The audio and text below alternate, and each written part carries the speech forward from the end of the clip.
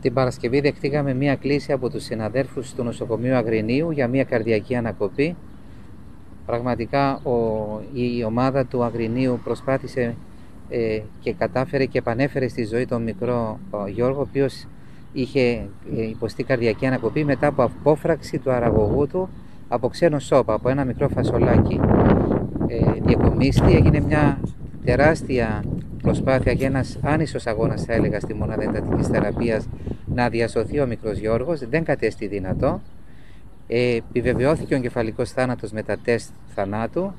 Έγινε μια πρώτη συζήτηση με τους γονείς και οι γονείς πήραν την γενναία απόφαση και αποφάσισαν να δωρήσουν τα όργανα του μικρού τους παιδιού για να διασωθούν άλλα παιδιά που αυτή τη στιγμή ενδεχομένως είναι σε μια εντατική και παλεύουν για τη Είμαστε συνεχώς σε επικοινωνία με, με τον Εθνικό Οργανισμό Μεταμοσχεύσεων.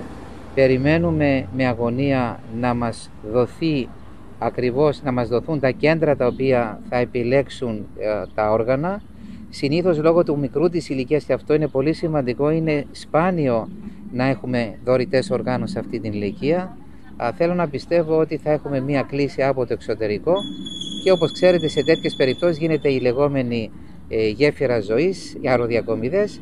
Περιμένουμε να δούμε. Επίσημα ακόμα δεν έχουμε, ε, δεν έχουμε κάτι. Απλώς να σας πω ότι το δικό μας νοσοκομείο και με, και με εντολή του κυρίου Καρβέλη είναι του διοικητή της είπε είμαστε πανέτοιμοι σαν νοσοκομείο να υποδεχθούμε τις ομάδες που θα έρθουν. Πιστεύω ότι όπως πάντα εμείς λειτουργούμε ε, πολύ επαγγελματικά για να καταφέρουμε να φέρουμε εις πέρας σε αυτό το δύσκολο έργο. Ε, ακόμα δεν έχουμε, δεν έχουμε αποδοχή από τα διάφορα κέντρα. Πιστεύω μέχρι το απόγευμα θα έχουμε τις πρώτη, την πρώτη εικόνα. Ε, λογικά πιστεύω αργά το βράδυ ή αύριο εάν έχουμε τις αποδοχές θα ξεκινήσει η διαδικασία. Ωραία οργάνων ε, δυστυχώς δεν είναι κάτι πολύ διαδεδομένο στη χώρα μας και ιδίως όταν μιλάμε για τέτοιες ηλικίες. Πολύ σωστά το λέτε. Σήμερα υποκλεινόμαστε στους γονείς αυτούς. Νομίζω όλη η Ελλάδα υποκλίνεται.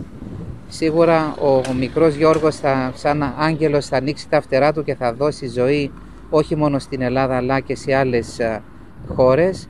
Ε, αυτοί οι γονείς μέσα σε αυτή την πολύ δύσκολη ε, κατάσταση ε, προχωράνε και κάνουν την υπέρβαση και τι λένε; Εφόσον δεν μπόρεσε το δικό μου παιδί γιατρέ μου Θέλουμε να σωθούν και άλλα παιδιά.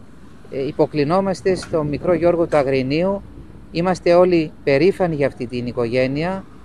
Ε, θέλω να πιστεύω ότι όταν θα μεγαλώσουν και οι αδερφές του Γιωργάκη θα είναι και αυτές περήφανες για ένα πραγματικό ήρωα ο οποίος έδωσε σε αυτή την πολύ μικρή ηλικία κάτι το οποίο ίσως δεν θα μπορέσει κανείς από εμάς να καταφέρει.